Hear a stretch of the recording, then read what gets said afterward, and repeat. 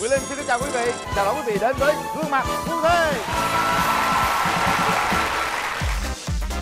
năm chú rể và ba cô dâu, trong số họ sẽ chỉ có hai cặp đôi phu thê thực sự. Việc tìm ra những cặp đôi này sẽ là cuộc đấu trí tay ba căng thẳng, hấp dẫn, nhưng cũng không kém phần hài hước giữa ba đội chơi.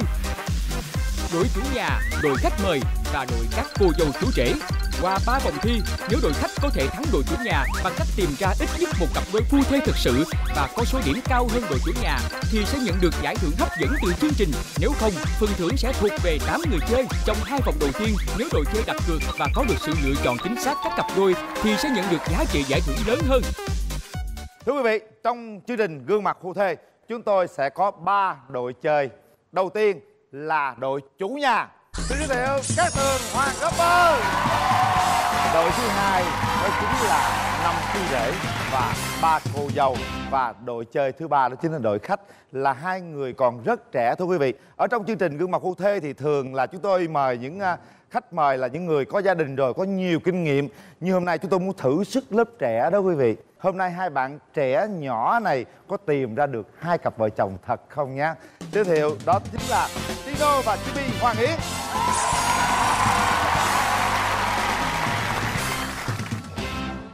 nói trẻ thôi chắc các bạn cũng uh, hiểu nhiều điều tình yêu đúng không? Dạ, nói chung là hiểu nhiều điều về tình yêu thì thì là em cũng có yêu qua rồi. Thế nhưng nói về ờ, cái giai đoạn mà tiến đến hôn nhân về rồi chuyện vợ chồng này kia các thứ thì nói chung em cũng chưa hiểu biết lắm. nhưng mà em nghe mẹ em kể về chuyện gia đình rồi ờ, cô chú bác chắc em cũng hiểu về thế nào là vợ chồng yêu thương nhau đúng không Dạ đúng rồi, nhưng mà tại chắc mẹ em cưới sớm quá nên đâm ra em nghĩ chắc khác khác mọi người chứ. chưa gì gặp mặt mẹ trước Tino à? Dạ. Khi mà em nhìn à, cặp vợ chồng em thấy ờ, có điều gì mà em có thể đoán được không? Nếu mà yêu nhau một thời gian dài thì cái gương Giống mặt nhau. họ sẽ rất là giống nhau. Đúng rồi. tại vì họ vui cùng nhau buồn cùng nhau thì cái đường nét trên gương mặt họ rất là giống. Hai mình giống. Mặt mặt hai này có hai đồng tiền luôn nè? Giống nhau nè. Số thu thi Nhưng mà anh Hoàng có vợ rồi ạ. tự nhiên đang vui. Hết vui. Tiếp đi. Hôm nay thì à, Hoàng Yến có thể tặng mọi người bài hát nào cho vui vui? May quá, khách mời chương trình lại là bạn cùng hát với em. Bọn em lại có một ca khúc mà kiểu hơi hướng ờ, Về gia đình tí về xíu. gia đình tí xíu tức là cái bài hát này là kiểu là cho những cặp vợ chồng trẻ vừa mới lấy nhau và bắt đầu ngày đầu tiên cưới nhau. Ừ. Thì Bây giờ bọn em sẽ hát thử một đoạn đây ạ. Rồi.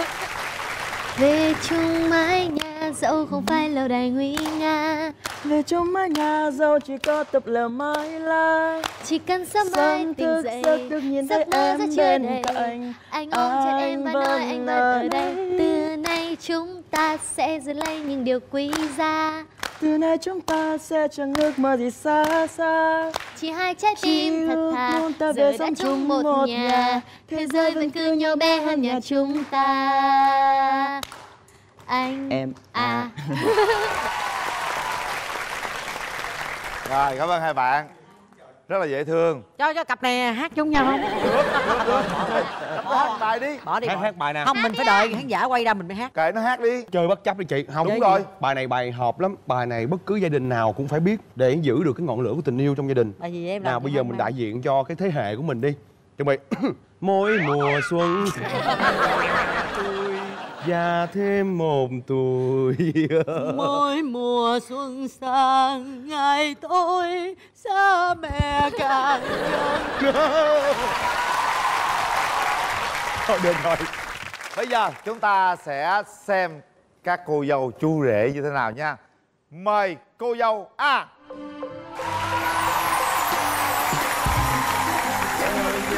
Cô dâu vị trí B cô dâu vị trí C.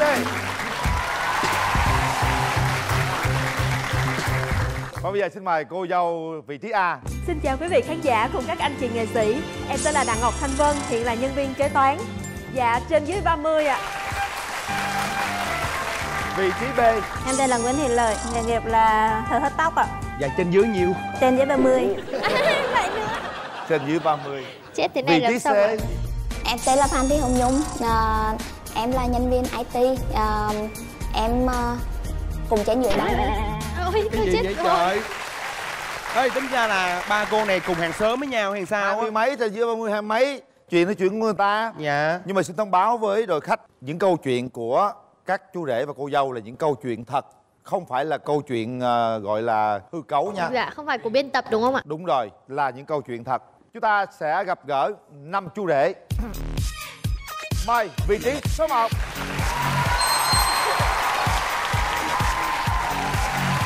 vị trí số 2 vị trí số 3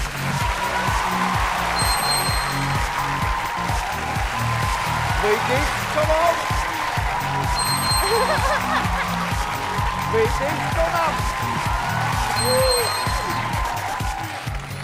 năm chú rể dễ thương quá Dạ, em xin đại diện năm chú rể à, cùng các à, chú rể à, kia hát một bài tặng toàn thể quý vị khán giả cũng như các anh chị em nghệ sĩ có mặt hôm nay. Cảm ơn anh.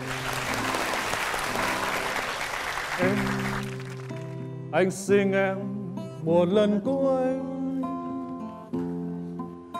Đừng tránh anh, đừng giận anh nhé Anh, anh van em hãy nói đi.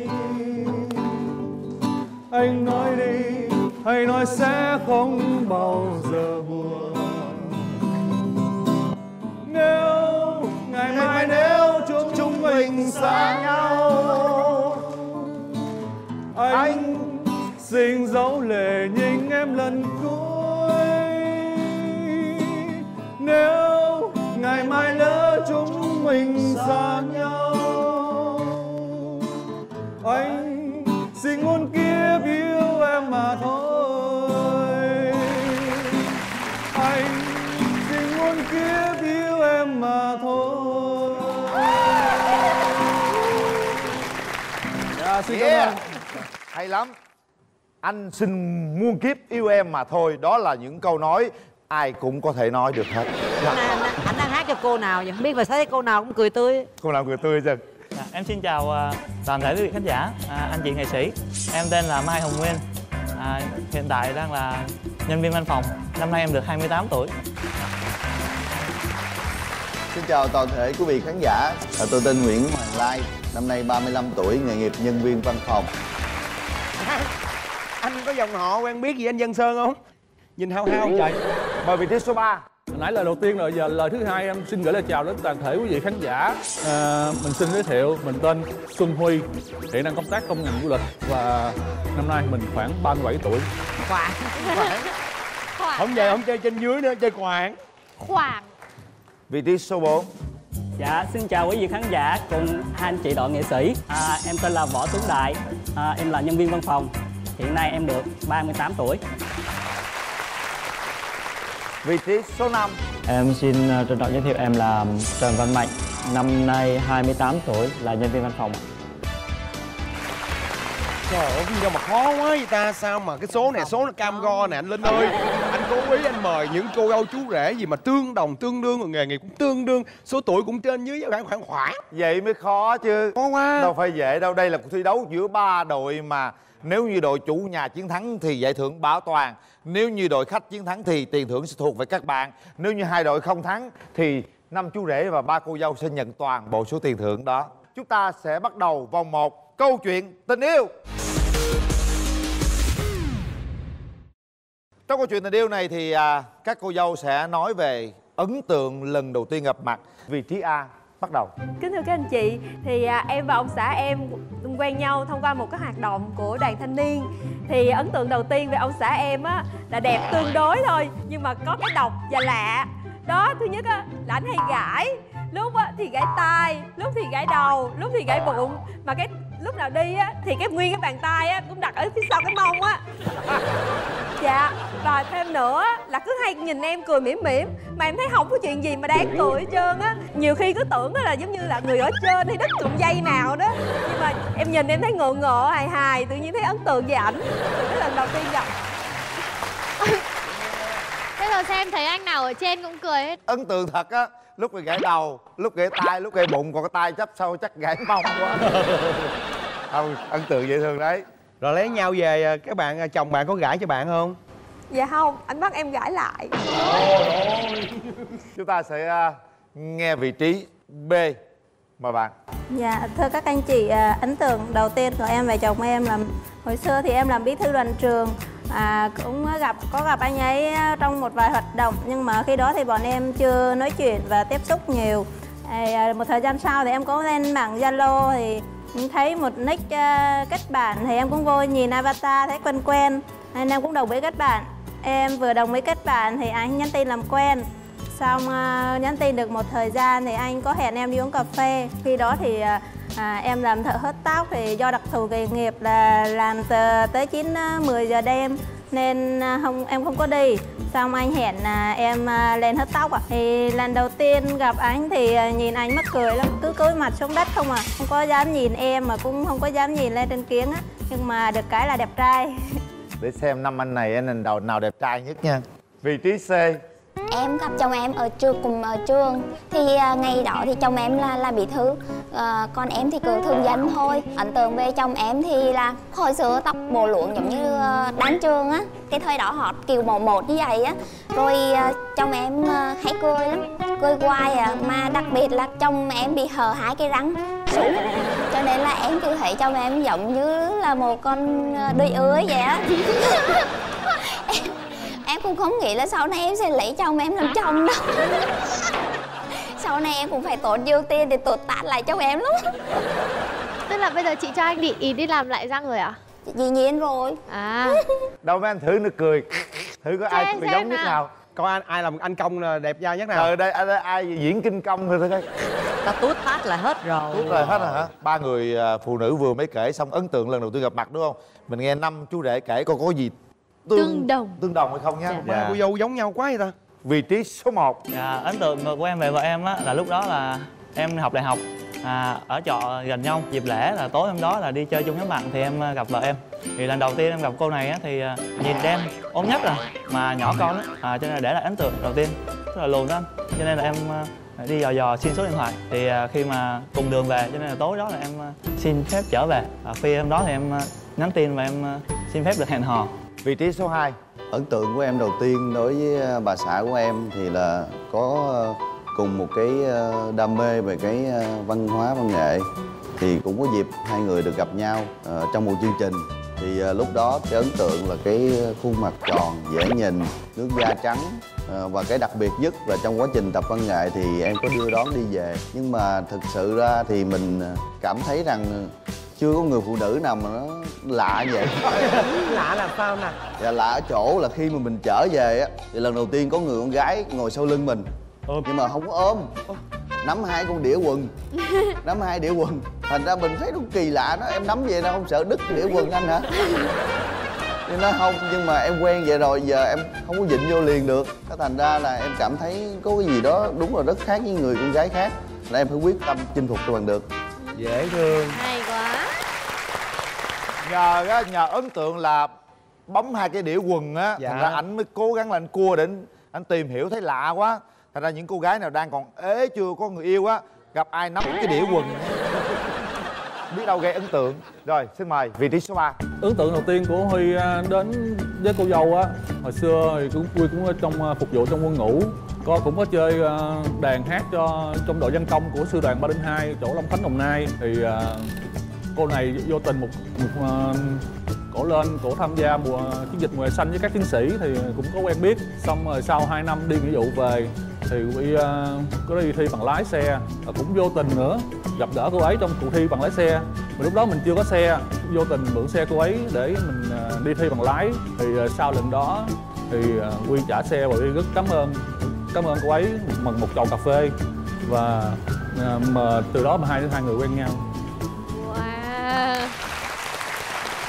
Vị trí số 4 ấn tượng của của vợ mình đó là lúc đó thì hai vợ chồng mình là cùng ờ, tham gia một hát đoàn thể và cùng diễn một cái chương trình văn nghệ. Thì ờ, cô này thì cô rất là có dạng da trắng à, tóc ngang vai à, cũng lùn nhưng mà có rất là có duyên. Nhưng mà cái ấn tượng nhất là lúc mà tập á, với nhau thì cũng sai hoài à. Nhưng mà khi lên diễn thì cổ tự nhiên có xuất thần lắm cổ có hồn lắm. Tự nhiên ấn tượng cổ từ lúc đó luôn. Nhờ cái diễn xuất thần đó mà có chồng ấy ha. À, ấn tượng với của em là hai um, em đi um, cùng chung sinh hoạt đội cùng đoàn đội cùng trường với nhau. Thì đợt là đó là đi uh, chiến dịch mùa xanh trên tây nguyên. Thì có gặp nhau nhưng mà lúc đó thì chưa có quen biết nhau mới gặp lần đầu à. Thì tình cờ thì hôm đó là có đội trưởng nói là uh, xin số từng người một để có gì tiện liên lạc với nhau. Thì trong một danh bạ thì em dò dò em lấy đúng một số. Thì sau này em biết là số rồi số cô cô đó. Thì khi em nhắn tin em gọi điện thì cô ấy không bắt máy. Rồi sau này thì em mới mới mới tìm hiểu và quen với cô ấy là vì do em chuyển đến tiếng thật là quen các bạn thân của cô ấy trước. À, và rồi thì từ các bạn thân của cô ấy giới thiệu à, em với cô ấy nên hai đứa quen nhau ạ. Lúc đầu ấn tượng thì cô ấy là tính đen với tóc ngang vai nói chung là cũng không có đẹp gì hết chỉ có ấn tượng một cái là mắt cô ấy đẹp. Bây giờ thì xin mời ba cô dâu tiếp tục. À, mình kể về những cái kỷ niệm đáng nhớ nhất của mình khi mà yêu nhau. Vị trí a xin mời. Chờ, nói về kỷ niệm khi yêu nhau thì em muốn đặt một câu hỏi cho anh Quyền Linh với anh Hoàng Rapper là khi mà anh truy cẩm người yêu á thì anh sẽ dẫn ờ, cái người đó đi đâu ạ? À? Đi ăn những món ăn gì ạ? À? sao hoàng bạn dẫn người yêu bạn đi ăn món gì hoàng dạ anh anh anh lớn hơn anh trả lời trước đi à, anh thì người miền tây à, đầu tiên hình như anh quen ai gì anh cũng dẫn đi ăn mắm kho mắm kho là một trong những món rất ấn tượng ha à, món đó ăn xong là nhớ luôn Ờ, trước khi câu trả lời của tôi xuất hiện thì thông báo với quý vị là có thể tối nay tôi ngủ ngoài đường. Tại vì ờ, nếu mà nói đến dẫn người yêu mà cưa cẩm với cô gái thì đương nhiên để lấy được một trái tim của người phụ phụ nữ. Phải đi qua bao tử trước. Mà phụ nữ rất thích ăn vặt. Đâm ra em cứ dẫn đến những hàng quán ăn vặt như là cái gì? Ờ, bánh trứng chiên rồi mực nướng bạch tuộc nướng. Nhiều lắm nhiều lắm. Thì có gì đâu liên quan gì tối nay là ngủ ngoài. Nhưng mà vì em không có dẫn bà xã em đi mấy chỗ đó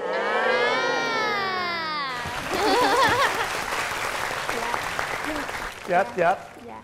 Em em kết cái câu trả lời của anh Hoàng Rapper á bà hại tôi rồi. Muốn tôi cẩm em á thì ông xã em á chỉ dẫn em đi ăn đúng một nơi mà đúng một món. Đó là món, món hủ tiếu nam giang gần nhà em. Không đi ăn kem không đi uống cà phê không ăn chè không ăn cháo hết. Cứ đọc đúng một món đó suốt một tháng trời.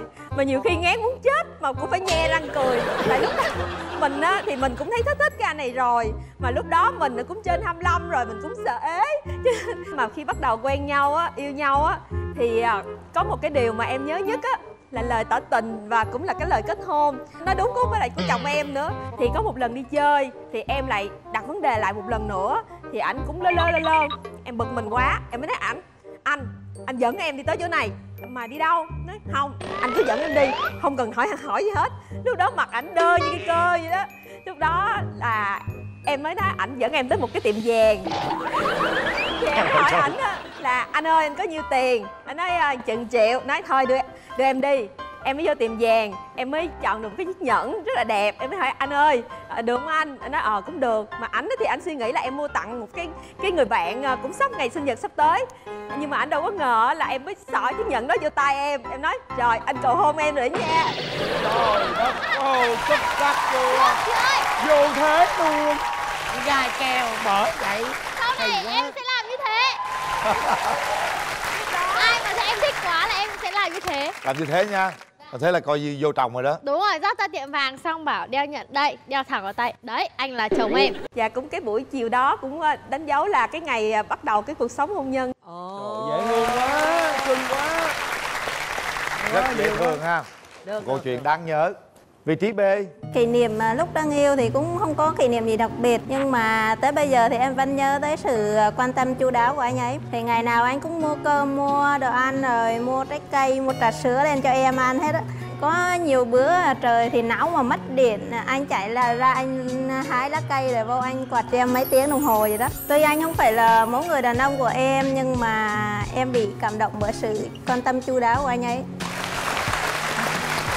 quan tâm chu đáo chăm sóc chu đáo bao giờ cũng để lại ấn tượng sâu sắc không bao giờ quên được hết. Mời vị trí c.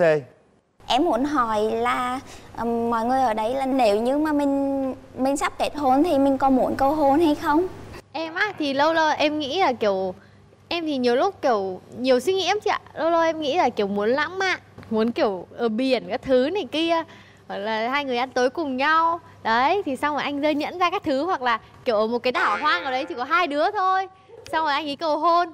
Chồng em thì cũng cầu hôn độc lắm. Em cũng giảm giảm trước em mới nói là giờ muốn cưới em thì cứ, cầu hôn đi rồi em cưới. Chứ không không là em không có chịu cưới đâu. Mặc dù là ngày cưới định hết rồi. Cái hôm đó thì ờ, chồng em mới cùng dẫn em ra tiệm vàng. Em em cái dòng này được không? Em nói ờ cùng được cùng hợp với style của em đó. Rồi cái xong em cũng biết là chồng em cũng muốn tặng em để cầu hôn em nhưng mà em giả bộ em lơ. Thì rồi xong rồi dẫn em về nhà nhà trọ của chồng em á. Rồi hai đứa ăn xong rồi bắt đầu tắt đèn thế bật nhạc lên xong rồi nhạc giật nhá. Nhạc vina không? Style lạ quá style lạ. Xong rồi bắt đầu á đầu tiên cởi cái áo sau đến cởi cái quần cái gì vậy rồi đấy người ta à thì chồng em bảo là bây giờ thấy hết body của tôi rồi đó. Phải có trách nhiệm với tôi á. cái sau chị- lúc đó thì chồng em cũng lông cái cái vòng vào tay em là chứ. Tôi cong tay bà rồi đó. Trời ơi, dễ thương ha cũng dài vô thế. Thấy hết của tôi rồi đó. Ừ. Hồi đó giờ em cho bao nhiêu người thấy cái body của em rồi? Tự nhiên hỏi bắt của người ta đó. Tối nay không về nhà rồi còn hỏi thêm. Mọi người có thể à, đặt câu hỏi cho tất cả mọi người chơi cô dâu chú rể để mình tìm ra được cái mấu chốt của vợ chồng thật. Cô dâu ờ, thanh vân là cô dâu ở vị trí a thì ờ, không biết là hai vợ chồng mình lấy nhau được mấy năm rồi ạ? Dạ trên một năm à vậy là mình chưa có cháu hay có cháu rồi ạ? Dạ có, đang có. À? đang có luôn. Chúc, chúc mừng chúc mừng chị. Vân có hay hát không vân Dạ có. Hát hay không? Dạ cũng tạm tạm. Cũng tạm tạm ha. Cô dâu ở vị trí b bữa nay ờ, trước khi quay chương trình ờ, hai chồng có gây lộn ha. Dạ không. Sao mặt em buồn từ nãy giờ em có điều gì buồn hả à, hơi căng thẳng hả chị. Dạ em sẽ hỏi cô dâu A. Chồng chị có bao giờ đánh đàn cho chị hát không ạ? Có, ảnh có đánh nhưng mà không có hay. Có đánh mà không anh hay. nãy đánh cũng đâu có hay đâu em thấy cô dâu A là chị Thanh Vân á. Ai anh ờ, chú rể nào kể câu chuyện nào cũng tìm cũng cũng tỉm cười hết trơn cũng hạnh phúc trơn nên em thấy rất là nghi quá à. Không biết là nghi vấn chị với ai mới hợp lý nhưng mà em nghĩ là chị là một người ờ, khá là hài hước và chủ động nên là em nghĩ là chồng chị sẽ rất là điềm đạm tí xíu chứ không phải là Thế một anh ờ, có tính hài hước. Điềm đạm đúng không? Ai Dạ. bảo anh thế? Nhỡ có người hai người người ta cùng sung thì sao? Khó lắm khó lắm. Làm sao mà khó? Anh nghĩ vậy chứ bộ. Anh lấy vợ chưa chuẩn bị. Còn lâu nhá. Gì vậy trời? Chung đội phải yêu thương đoàn kết với nhau chứ. Anh ở vị trí số 5 anh có hát hay không? À, có hát được ạ. Anh thích ăn món gì nhất? Nói chung là cũng nhiều Nhất. ăn vặt hủ tiếu ạ. À, hủ tiếu. À em biết rồi nhá. Thiếu gì hủ tiếu? Hủ tiếu có nhiều loại hủ tiếu. Hủ tiếu gõ. Hủ tiếu gõ hủ tiếu nam giang hủ tiếu sườn Dạ. hủ tiếu tôm. Đâu phải là nói ra là hủ tiếu nam giang đâu. Chính xác. Tôi đâu có nói gì đâu tự nhiên tôi chỉ hỏi có câu thôi mà mọi người xía chĩa tôi dữ vậy. Không, em, em em chung cảnh tỉnh gì không thôi. thì bây giờ em hỏi nè anh anh có thích ăn hủ tiếu nam vang không? Có. Đó thấy chưa? Thấy gì? Trong nguyên thế giới này có mình anh thích. Vậy em hỏi hết ba anh kia À, thì bây giờ em hỏi nốt mấy anh còn lại nè. Nhiệm vụ của mấy ảnh là đánh đánh hoa mù em đó. Có ba câu rồi nha hỏi hết không được đâu nha. À suy nghĩ kỹ đi. từ từ. Cho em hỏi chị ờ, cô dâu C nha là chị với chồng chị có làm những công việc có tính chất liên quan đến nhau không? Cùng ngồi văn phòng nhưng ờ, hai tính chất hai công việc À, khác em nhau hoàn rồi. toàn. Dạ. Em muốn hỏi anh ở vị trí số 3 là anh có hay bị ngứa không? Anh bị dị ứng nên ờ, trời mưa lạnh là dị ứng là ngứa. À được rồi cảm ơn anh. À. Ngứa hay gãi gì? Ờ. qua câu hỏi thì à, hai em có nghi vấn là cặp nào là thật hay không? Em thì em nghi vấn là cặp cô dâu A với cả chú rể thứ ba. Em em cũng ghi nhấn một cặp là C với lại năm. C với năm tại sao? Nói chung cũng cảm tính của em thôi vẫn Cũng chưa chắc chắn được điều gì dạ. Ê, và bây giờ thì à, hai đội không đặt cược. Chúng ta tạm thời khép lại vòng 1 của chương trình gương mặt cô thê hẹn gặp lại quý vị ở vòng 2 quý vị nha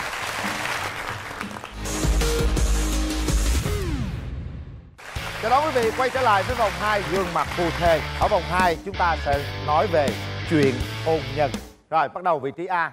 Hôm nay có cơ hội ờ, tham gia chương trình cho nên em quyết định xả hàng nói hết tận số đó đúng rồi hay quá mê Thứ nhất á, là mê ngủ. Dù hai vợ chồng em á, cãi nhau có kinh thiên động địa cỡ nào Mà một khi em nói thôi em muốn nói chuyện với anh nữa Anh đi ngủ đi. Là ảnh lẳng lặng vô phòng nằm ra giường chỉ có bảy nốt nhạc thôi là khò khò khò. Xong á trong khi mình ở ngoài đây mình khóc rắm rứt mà ha tự nhiên mình thấy mình nó sao nó ngu ngu sao trong khi chồng mình thì đang ngủ. Cái thứ hai á là sợ chuột. Đàn ông á thì ha trai tráng vậy á mà thấy có con chuột chút xíu á chạy vô nhà. Có một lần tự nhiên thấy con chuột nhắt chạy qua. Anh nói á tiếng anh đang cầm cái liềm thôi giật mình hết hồn rớt xuống. Làm miễn chai văng như chân em rốt cuộc phải đi khâu mấy mũi Trời tội nghiệp không? Cái thứ ba sâu đói là ha, em đã nói là không cần á, phải đưa đón em đi làm. Khi mà đón về á, mà em á, mà lỡ xuống trễ một chút xíu á, là anh nhăn, anh khó chịu, anh nói, ăn thì phải đúng giờ, đúng giấc. Rồi anh càm ràm suốt từ cái cái chỗ mà chỗ làm của em cho đến lúc về nhà luôn. Xong cái tật thứ thứ tư là cái tật mà em, gần đây là em cảm thấy em không không chịu đựng được, đó là cái cái tật là không để ý. Tại vì khi mà mang thai á, thì nó có những cái khó chịu mà mệt mỏi, thường hay đau lưng, là em mới nói là mua thêm hai cái gối ôm để mà kê lưng thì á, dẫn đến cái giường á nó sẽ hẹp cái diện tích lại. Thế là ảnh khó chịu ảnh bực bội rồi thêm nữa em cũng muốn ở máy lạnh tại vì sợ nó bị bệnh rồi phải uống thuốc. Rồi á vậy mà anh cũng khó chịu anh nhăn nhó kia nọ em nói "Trời, lúc đó em tức mà em khóc luôn dạ đó là những cái tật xấu ờ, của chồng em. Chồng kỳ cục dở cái bầu mà cũng không nhường nhịn nữa. Đâu có là chị Cát Tường hồi xưa ta có câu á là trẻ con như búp trên cần biết ăn biết ngủ biết học hành là ngoan đúng không? Bây giờ mình lớn rồi mình học hành rồi giờ mình đi làm giờ ăn nó ngủ đúng không? Giờ mình làm nữa thì mình làm về mình mệt mình phải ngủ chứ đúng không? Thì em làm hết cả tuần chủ nhật về mới được nghỉ ở nhà mới nằm xuống ngủ chưa gì giờ lôi đầu ra dậy bắt dậy lôi đầu bắt dậy giấc ngủ mà quan trọng lắm. Anh nói lẹ quá em nghe không kịp. Không em nghĩ á, đối với người đàn ông á, khi mà người phụ nữ ở trong cái thai kỳ thì người đàn ông cũng chịu một phần stress chứ không phải là đi người phụ nữ không. Đúng. Đôi lúc mình cũng phải tránh những cái xung đột chứ không phải là nhiều lúc mình đối đầu với xung đột. Không tốt chút nào mà nhất là đối đầu với phụ nữ. Hay quá ơi anh tâm lý nè anh này tâm lý nè. Hay một like trăm like. Nhưng nhưng mà đi lúc về nói một lần thôi. Nói như nói hoài nói ngủ rồi cũng nói. Sáng mai vừa tỉnh dậy cũng nói luôn. Chưa Càm ràm, càm ràm. càm ràm hoài luôn thì ai mới chịu nổi? Thì nó không nghe mới nói hoài chứ sao rồi, im rồi không nói gì hết rồi. Thì thôi tôi nhất là biết chồng biết là sai rồi chồng chỉ ngấm ngầm xin lỗi rồi. Nhưng mà đang lúc đó đang phê phê thì cho chồng ngủ đi. Xong rồi mai tính tiếp không chịu đâu. Cứ cảm ràm cái tai như kiểu là cái loa cái đài bên cạnh á ước chỉ có cái nút mù tè bấm chút. Bắt mù tè. Luôn. Bù tè. Nhưng mà mấy anh phải thông cảm bởi vì vợ mình đang thai ngán mà 9 tháng 10 ngày mang thai ngán nó khó chịu lắm. Mình phải đồng cảm chuyện đó chứ phải chiều vợ chút xíu chứ. ơi. có mọi cưới người. á có vợ chiều chứ. vợ thì dịu em mà biển thì ồn ào. Cưới về thì vợ ồn ào biển dịu em. Được. Cái này được.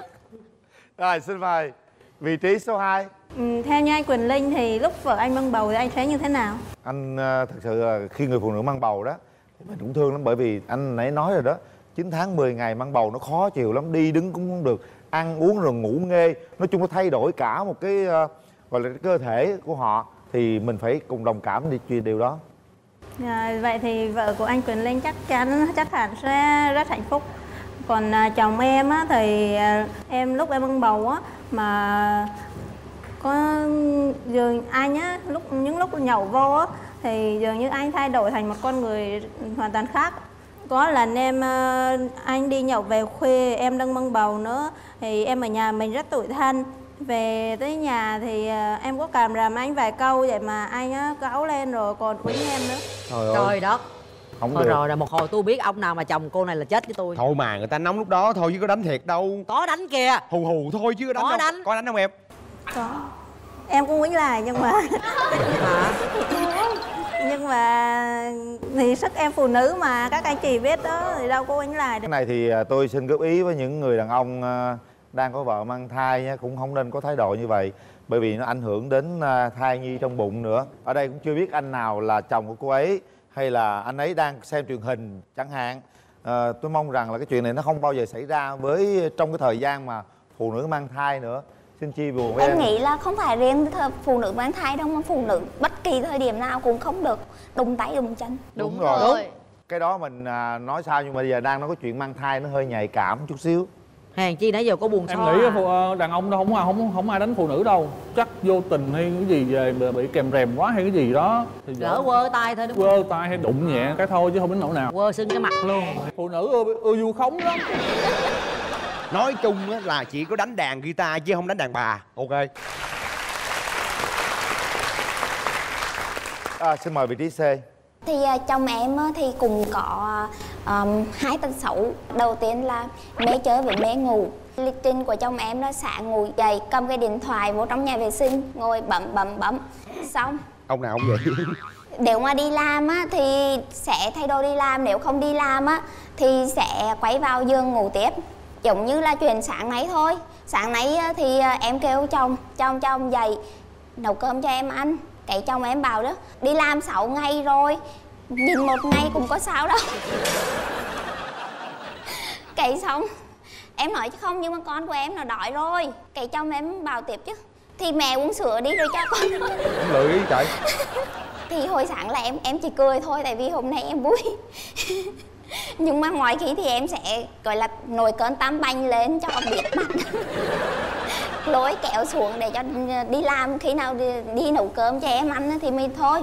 Còn cây tật thứ hai là cây tật là em nghĩ là chắc là mê chim bỏ bạn. À, chồng em cùng hay hay đi nhậu. Xong rồi cùng với mê chơi là về để cất đồ cất điện thoại cất vị tiền để đi đá banh thì đã bán từ 7 rưỡi cho đến 9 giờ. Em thấy 9 giờ rưỡi rồi cũng không về 10 rưỡi cũng không về. Cái em cứ đi lên, đi xuống cầu thang á, em chờ em chờ hoài luôn. Mà hồi xưa thì em, lúc chưa bầu thì em thoải mái cực. Nhưng mà đến khi có bầu rồi á, gia đình có hai người cho nên là cảm thấy là mình hơi bị buồn á. Cho nên là cứ đi lên, đi xuống chờ chồng như vậy. Đến 11 giờ mấy á, ông về. Em khóa cửa lại, em chốt ông ở ngoài á, cho camera uh, giói ổng cứ gõ cửa gõ cửa em nói chứ em nhắm chừng là ngày mai mà em xuống bán quản lý chung cư á em xin cái hình chụp rồi em đăng lên trên chỗ group của uh, chung cư cho biết mặt. Rồi đăng lên facebook cho biết mặt luôn. À. đó thì nhưng mà tự nhiên đến khi em cho chồng đứng ngoài hai chục phút mở cửa ra cho chồng thì cũng thấy nguôi nguôi mở cửa ra cho chồng cái tự nhiên em oa khóc khóc nức nở giống như trẻ con vậy á thì giống như là đấy là cũng là lần đầu tiên và lần duy nhất mà trong ờ, cái cái lúc mà hôn nhân là chồng em làm cho em khóc. Đàn ông thì ai chả đi nhậu đúng không? Thấy anh Đường Linh mà ờ, gặp ờ, vợ mà mình đi về rồi vợ lại khóa cửa không cho mình vô thì anh Đường- em Linh nghĩ sao? Tôi kiếm cửa khác tôi vô à. Còn nhắn tin cho bạn đe dọa là thôi đừng cho chồng mình- của em đi nhậu với bên anh nữa không là em chửi hết luôn. Em cũng vậy. Thì sao mà chịu dữ nổi? quá sao chịu em, nổi? em đi nhậu là Thực sự tất cả sao trên bàn mà nhậu bỏ điện thoại lên bàn. Điện thoại nào ghen nhất là trả tiền. Rồi em bị trả mấy chầu rồi sao liền. Đường nào cũng nhắn tin là 11 giờ về rồi Mà- trễ khoảng 5 10 phút thì đâu có sao. Nhưng mà nhiều khi thật sự là đi nhậu vì công việc thôi chứ thật sự là lúc mà nhậu cũng lo lắm. Khi vợ mình ờ, ở nhà có có có em bé thì mình lo lắm chứ nhưng mà giờ công việc giờ sếp kêu mày ở lại với tao. Rồi sao làm sao? Đúng rất rồi. là khó cũng khó xử cho đàn ông nhiều lúc nhắn tin cho chồng nhỡ chưa không trả lời tắt máy điện thoại không sao có nhắn ạ? tin lại là đi về đúng mấy giờ mấy em giờ đàng mai mốt em đừng có vậy cực lắm mình đang có bầu. Em ờ, cài đặt điện thoại đó rồi coi coi định vị coi chồng ở đâu. Chồng em hôm đó là không cầm điện thoại không cầm ừ người ta banh không cầm mà. không cầm bất cứ một cái gì. Em sợ chồng tai nạn rồi vô ờ, vô bệnh viện không ai kêu lo thôi. Cô này cũng ờ, giống như là làm nhiều lần quá rồi nên nhiều khi lần này làm cho bỏ ghét luôn là đi nó banh để điện thoại nhà cho bỏ ghét vậy đó. trời ơi! Rồi vợ nó phải kẻ thù đó mà làm không cho bỏ nổi. ghét anh chịu không nổi sao giờ câu chuyện này à, tạm ngưng ở đây chúng ta sẽ nghe những ông à, chồng nói kể tội chút xíu về vợ Dạ thì vợ em á thì ờ, à, nóng tính nè, mê chơi nè, với lại ờ, hay mê chồng lắm. mê chồng mê hay Dạ, gay mê, chồng, mê chồng. Mà vừa rồi ờ, em cũng ờ, mới đi nhậu với đồng nghiệp em. Ủa cũng Thì, ham à, nhậu luôn hả sao dạ, ai nhậu vậy Thì đồng nghiệp vậy sao mà tại vì thường là mình làm về cuối tuần mình anh em gặp nhau thôi. Bữa đó về xỉn quá, không biết đường về. Xong rồi cái nhờ bạn đưa về về đến cửa nhà thì vợ em mới uh, vô. Thì nhiều khi em đi em khua tay đó là như là uh, nhiều khi trúng rồi cái giận quá lên nóng quá xong rồi nhào vô cào lớp bánh xé em luôn. Đáp em tới tóc luôn á cái quýnh lại luôn. Rồi em có quýnh lại không? Dạ không lúc đó em xỉn quá rồi sao còn? Ờ còn à, cái mê, mê mê chơi á là có một lần em nhớ là em đi làm về em mệt quá à, không có muốn đi luôn á mà vợ em cứ xà nẹp em hoài lôi em đi chơi. Đó thì em à, chấp nhận đi chơi tại vì lúc đó là đang ở trọ cho nên là à, phòng trọ em á thì là 10 rưỡi là đóng cửa rồi. Em à, ráng ráng đi chở đi vòng vòng hết để qua 10 rưỡi mới về. À, rốt cuộc hai đứa phải đi khách sạn Đi khách sạn. đi khách sạn dạ. Đổi Đó, màu sắc. dạ đó thì à, xô vô khách sạn ngủ ở ngoài sáng hôm sau xuống thì em mới nói vợ em á là giờ đi chơi rồi đó giờ đi khách sạn rồi đó. Giờ lần đầu tiên ngủ khách sạn với trai đó giờ trả tiền đi. Cái cái cô khách sạn có đứng con ngớ người luôn. À, đó kể từ đó về sau thì cũng à, hạn chế. Dạ đi rồi có tới giờ là mới về. Đó với lại còn cái mê chồng nữa là vợ em thì à, cũng à, đang à, có em bé cho nên là hở một tí về à, nhiều khi em về mà nhiều khi mình chưa kịp à, đang còn công việc ở công ty á mình phải làm cho nó xong mình ngồi đó thì à, mình làm cho nó xong. Cái vợ cũng kêu à, chồng ơi chồng ơi chưa được tiếng thứ hai nhào vô. Quất em à. Ai cha, ừ, ở đây có với em chưa dưới 18 tuổi. Đánh đó chị? Anh hả? dạ chịu lắm giờ người em giờ bầm chỗ nào cũng bầm tím hết à. Dạ. Mời vị trí số 2 bà xã em thì cũng có cái tật xấu hình như là hay suy diễn mọi chuyện nó theo một cái kịch bản rõ ràng. Hay quá, phụ nữ nào cũng vậy anh ơi. À, với lại cũng hay càm ràm nói tới nói lui. Thì thường những lúc ờ, nhậu thì lại hay bị càm ràm. Mà nhậu thì đôi lúc cái giao tiếp xã hội bây giờ thì nó cần cái đó để mà mình đôi lúc mình tiếp khách hàng. Thì nhiều lúc nói vợ cũng không hiểu không tin. Thành ra nhiều lúc là coi như gọi điện thoại tới là phải đưa cho sếp nghe sếp nói ở chỗ an toàn mới tin tưởng được. Còn cái tính suy diễn thì nhiều lúc ra mình có giao tiếp với lại ờ, bạn bè trong cơ quan rồi nhiều lúc cũng phải giúp đỡ lẫn nhau. Thì hôm đó cái cô bạn nó cô chỉ có nhắn tin là hôm nay không biết có ai qua giúp mình dọn nhà không ta? Cái là em tiêu luôn. Bị tịch thu điện thoại luôn. Ghen lắm hả? dạ. À. Ở nào mà ở chẳng cái ấy gái nào mà chẳng gái hay ghen chồng? Đúng rồi. Vị trí số 3 thì ờ, vợ em cũng ít tật xấu lắm. Thì ờ, mấy anh chị nghĩ đi em làm trong du, du lịch thì khách hàng nhiều. Một tuần thì có 7 ngày thì em có đi có 6 ngày đi nhậu thôi ờ, đâu có nhiều đâu.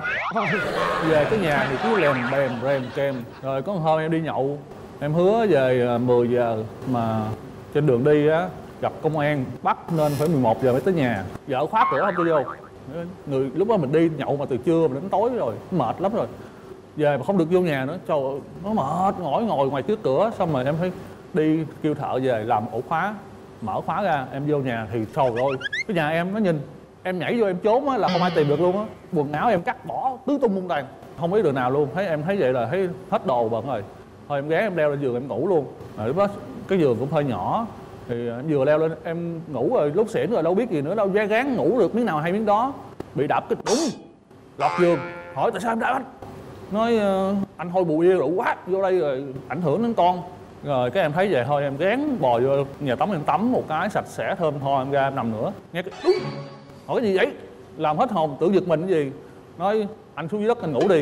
Rồi thế là em xuống chùi xuống cái đống quần áo của em, em ngủ luôn. Đến sáng vậy cho yên lành. Tâm lý cô này hơi ngộ nha. Em cũng bị y chang anh này đó. Không nhưng mà lắm. chị làm cỡ nào cỡ chứ làm gì có cái vụ cho phải ôm chồng ngủ chứ. Không, tùy Giận lúc. thì giận mà thương thì thương chứ. Tùy Lúc thì ôm, lúc thì đạp. Có bầu nghe mùi bia rượu sao chịu được? Giờ có con rồi con quan trọng hơn. Tính à, tôi hiểu tâm lý phụ nữ lắm. Lúc có lo cho con nhiều hơn cái hơi rượu nó không có tốt Đúng không? Chính xác là như vậy đó. Rồi mời vị trí số 4 vợ của em thì nóng tính lắm hung lắm hung dữ lắm. Mà ờ, có lần hai chồng đang đi chơi qua bờ cái bờ kè thấy cái hai cặp nam nữ, thì cái cô cô gái này cô đang dắt xe, thì là cái mà thấy anh nam anh nam rất là to, con mà khỏe mà cái là thấy ảnh đạp cái xe cô gái này xuống đất. Thế là cô gái này cô mới dựng lên mà chưa kịp dựng thì cô khóc. Cô khóc thì thấy là hai chồng đang đi ngang qua cái cái vợ, em nói chứ, anh nói anh, dừng xe lại, dừng xe lại. Nó làm gì? Thì thấy cái anh nam kia ông quýnh ờ, cái cô nữ kìa. Để em ờ, à em là không có chịu được cái ờ, đàn ông mà quýnh phụ nữ rồi cái thấy nó thôi thôi thôi được rồi đó chuyện của người ta. Không cái em em chạy chạy một hồi cái giận rồi cái nói gặp anh dừng lại đi em quay lại đi em lấy cái nón bảo hiểm em chọi mặt cái ông đó. Dữ lắm dữ kinh lắm. Cái xong thì cũng ờ, thấy gì cũng dừng lại nhưng mà nhìn lại thì là là thấy có ờ, bà con rồi người ta cũng lại lấy người ta cũng can thiệp rồi. Ờ, thế là đi trên đường đi về cứ cam ram cam ram nó hoài. Anh nhát quá anh không chịu vinh giật gì rồi ông nói. Cái xong cái giờ vô nhà đóng cửa cái rầm rồi cái dặn cái thế là em phải ờ, gọi cho chị vợ giải quà chứ giờ sao giờ? Dữ lắm đóng tưởng kinh khủng lắm dữ lắm. Đây ba người ai mà giữ dữ vậy ta? Rồi xin mời vị trí số 5 Ờ, về vợ em thì có cái nóng tính. Ờ, không biết cô ấy học công phu ở đâu em cũng không biết nhưng mà đang đi trên đường. Tự nhiên đang cãi nhau đùng một phát thấy nhát xuống giữa đường rồi mà không hiểu vì sao xuống được. Với lại một cái nữa là khoảng 5 giờ sáng cái lúc đó là giờ giấc đang ngủ ngon ai cũng vậy thôi. Vợ em cứ cù cù ép cù ép bắt dậy hôn bắt dậy hôn không ạ? Cứ 5 giờ sáng bắt dậy hôn hôn. Người ta đang ngủ ngon. Bà bực quá bà không hôn. Không hôn bắt đầu đi giận giận bắt đầu dỗi còn một cái nữa là con con bé trong bụng cứ lấy nó là dọa không à? Ăn thì không chịu ăn ăn cái gì cũng không chịu. Bảo đi mua cái gì chồng mua cho. Không biết ăn cái gì hết đi mua đùng cái về không chịu ăn. Lúc sau kêu ba để cho nó bỏ đói con có đứa con suốt ngày mang nó dọa mà chắc là mà sau sinh ra nó ra lấy nó quýnh hoài qua cái bực chồng mang nó quýnh chết đít luôn quá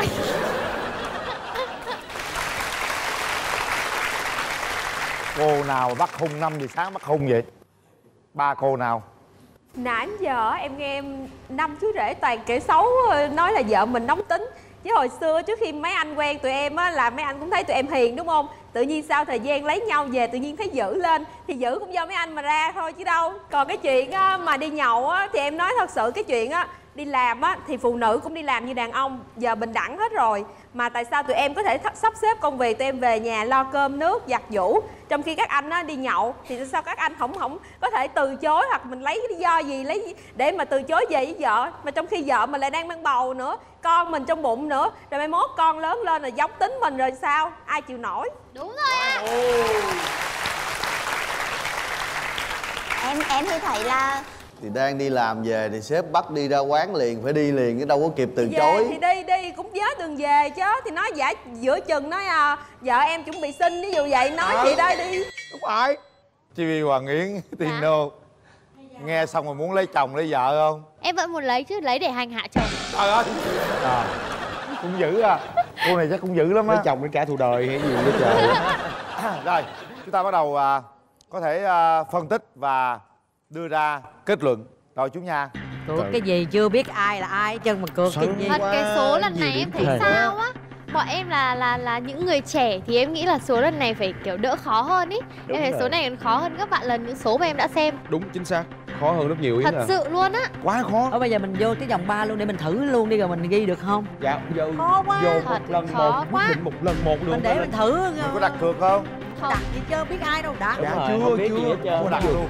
Em chẳng biết ai đây là một thật những tập Còn mù mờ. giờ. Có ai cược không? Không. Không phải cược đúng không? Như vậy là vòng này cũng hơi khó. Chính vì thế nên à, hai đội chơi vẫn chưa tìm ra mấu chốt nào cả. Chúng ta sẽ chuẩn bị đến với vòng 3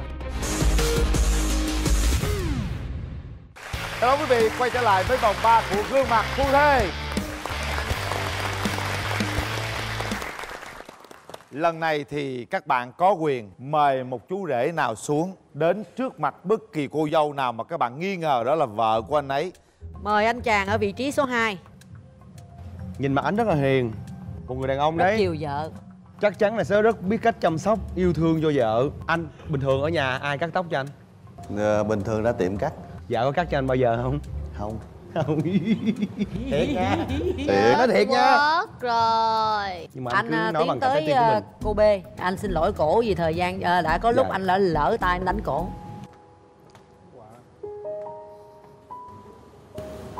Em à anh ờ, thật sự xin lỗi vì ờ, có những lúc đã có những hành động làm cho em buồn thực ra thì anh cũng không muốn nhưng là do có thể là sự kích thích của bia rượu anh ờ, sẽ thay đổi và sẽ không bao giờ có những hành động vậy nữa em đừng buồn nha Em cũng hy vọng là anh nói được thì anh sẽ làm được. Cảm ơn anh. hồi hộp luôn á Rồi, mời anh về vị trí.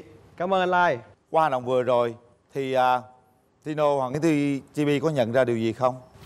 Dạ em nghĩ hai anh chị em không phải vợ chồng nhau. Không tại vì là em nghĩ nếu mà đã bị một cái bức bối gì trong người ấy Mà khi mà giữa một cái chương trình này giữa rất là nhiều người Thì chồng mà xuống xin lỗi Thì tự nhiên em Vỡ không biết à. là do em hay là do các chị mạnh mẽ quá. Thì nếu mà là em ấy là em sẽ vỡ hòa cảm xúc Và em sẽ em sẽ rưng rưng nước mắt hay là như thế nào đấy. Có lúc nãy thì em thấy chị B, chị Nguyễn Lợi thì rất là bình tĩnh. Người ta cố kiềm đó. Cũng có cảm xúc đấy. Có cảm xúc sao không? Nhưng mà không đến mức là là biết đâu họ kềm chế được hoặc là hoặc cũng mạnh mẽ quá. Có khi khóc khô nước mắt rồi hết nước mắt đi khóc rồi. Anh à, Tuấn Đại ở vị trí số 4 xuống chị C. để à, làm lại cái hành động lúc cầu lúc hôn. cầu hôn. Rồi xin mời vị trí số 4 là sao? Là cởi cởi quần áo hả? Không không, ý là không đến Cái gì? mức là phải cởi Ê, quần Không, áo mà. Nhưng mà nếu mà nếu mà phải thì anh phải làm còn không phải thì anh sẽ làm cái hành động khác. Thì không là đúng. Lên truyền hình sao cởi áo được? Ừ. Anh chỉ cần nói đúng cái câu mà anh nói với chị thôi là như lúc nãy chị kể là đây thân hình của anh đây em cũng nhìn rồi đấy xong Đó. cái gì gì đấy. Em làm phải chịu trách mà. nhiệm. xuống đi anh. Em muốn anh lột thiệt. Nếu không phải thật thì sao anh? Lột cái áo thôi. Thế là Tượng chị cũng phải chịu trách nhiệm của anh bây giờ anh tượng trưng là lột cái áo ra và anh làm những cái động tác uh, vũ điệu quan giả gì đó đây. Rồi. Đây. Cởi áo gì được cho em. Giờ em muốn làm anh gì nữa anh làm đi. Em không có làm gì. Nói đi anh nói gì đó? Em ơi bây giờ anh thể của của e của anh em đã thấy rồi đó. Mặc dù mới cởi cái áo này thôi mà bữa trước mình đã thấy rồi. Giờ em muốn làm gì làm. À, anh sẽ ờ, ờ, cùng em ờ, thân xác với cuộc đời chịu Gì chưa? vậy? cái gì banh sách trời trời hai chồng bán pháo bông hay gì vậy trời? Không cùng cùng nhau hành hạ thân xác với cuộc đời. Ừ. rồi cảm ơn anh. Cảm ơn anh rất là nhiều. Em nghi cặp này lắm nè. Em cũng nghi À, tại sao nghi tại sao? Đây nè một diễn viên gạo cội ngồi đây nè. Ánh mắt đạo diễn nè. Thì em thấy anh ý bình thường nếu mà không phải là vợ mình ý thì không đến mức dí sát như có này đâu. cái khoảng cách như là rất nhất phải có định. khoảng cách nhất định. Như em gặp trai lạ cũng thế là cách xa 10 mét đi đừng có ngồi gần vào em. Còn nếu mà là người yêu em là em sát như này này. Nhưng không phải Tino em giải ví dụ thế. Điều quan trọng là cái thái độ của cô nữ. Em thấy chị cười hoài À, chị em sướng. Ôi dồi ôi, sướng lắm sướng ôi giờ. đi ra đi đi ra đi. Biết đâu họ là bạn bè của nhau thì sao đúng không? Chính xác. Chúng ta đã trải qua ba vòng chơi rồi. Chúng ta đã nghe tất cả họ những gì họ nói. Mình đã yêu cầu rồi. Bây giờ các bạn hãy ghi kết quả hai cặp đôi vợ chồng thật mà các bạn cho đó là đúng ghi vào trong giấy. Chúng ta có 30 giây để quyết định điều đó. Em nhường hết cho chị luôn đầu. nhường em nè thấy phải không? Ơi Không ai đặt hết đó, tôi không có đặt gì hết đó. Thì lúc này của em còn này của chị. 45, 45 năm. Năm bốn ba. Cảm ơn. Ba hai đây đây đây đây. một. Cảm ơn sai sai đúng đúng. Ừ. Thật. Kết quả hai đội đã ghi vào đây Quỳ Linh đang cầm trên tay. Tôi sẽ đọc kết quả. Đội chủ nhà đã chọn hai cặp đôi như sau. Cặp đôi đầu tiên họ nghi là vợ chồng thật. Đó là vị trí số 2 và B. Mời anh chị đứng lên. 2 và B cặp đôi thứ hai là cặp đôi ở vị trí số 5 và vị trí A. Đây là sự lựa chọn của đội chủ nhà và đây là quyết định của đội khách Tino và Hoàng TV. Vị trí số 5 và B cặp đôi thứ hai là vị trí số 4 và C. Đây là sự lựa chọn các bạn. Cảm ơn anh chị. Ngồi không xuống. ai chống ai hết trơn ha bốn cặp cho quá hết trơn Nhưng mà cũng chúc mừng cho cô Lợi ở vị trí B cổ có hai chồng rồi đó Chính xác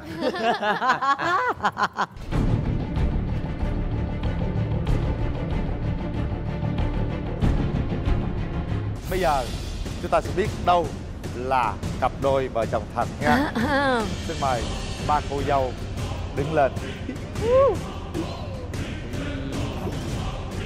Ở trong đây sẽ có một cô dâu không có chồng ngồi ở đây. Và cô dâu đó là ai? Không có ông xã. Ở đây thì ngồi xuống nghỉ ngơi đi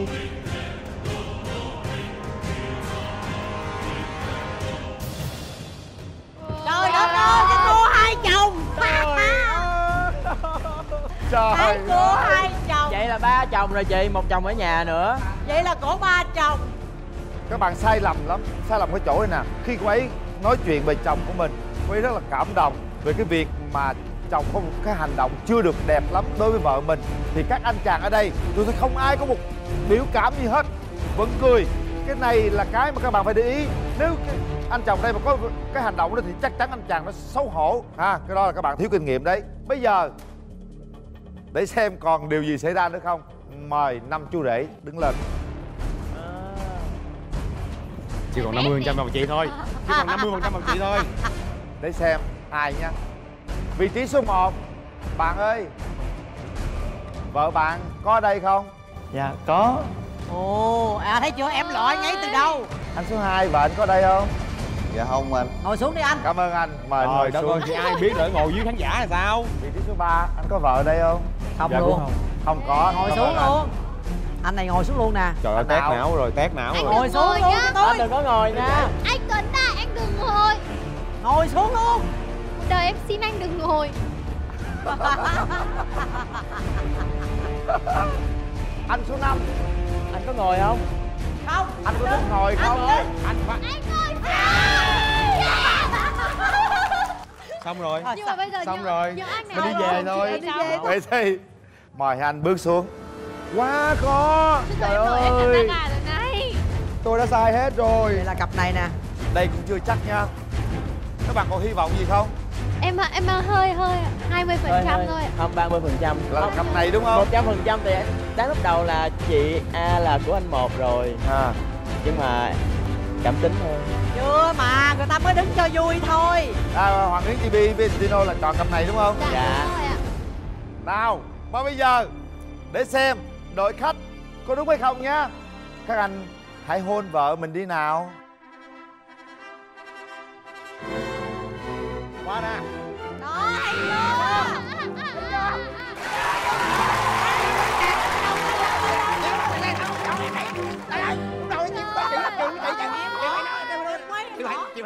Đây rồi em chọn cặp ở đây là mình đúng cả hai cặp phải không tại vì chọn cặp quá trời ơi là không giống thiệt giống thiệt giống thiệt giống Vậy thì hôm nay không đội nào chiến thắng cả. Chủ nhà cũng chia thất bại, đội khách thất bại. Chiến thắng thuộc về thôi cho người ta đi và ba cô dâu.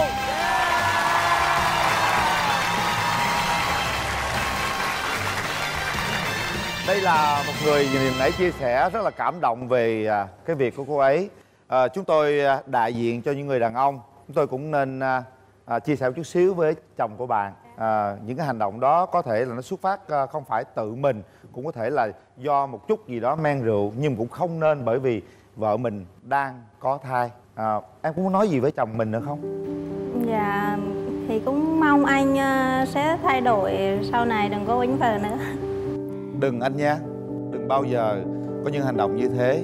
Hãy suy nghĩ lại, bởi vì vợ mình đang mang con của mình trong bụng đấy. Em là ai, đến từ đâu? Dạ em là Nguyễn Thị Lời em đến từ Nghệ An ạ.